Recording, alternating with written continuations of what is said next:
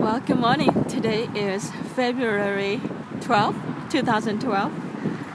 No, today is February 13th, 2012, Sunday. I am so grateful that I can come to church this morning, and this is the first day of s- second day now. The snow started last night, so uh, this morning it's all white.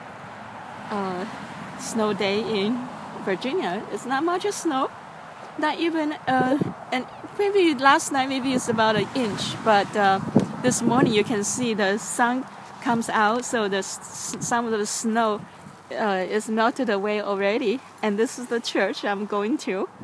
Uh, I'm at the church now, so we're gonna have a service, and also we're gonna have a Bible study later on.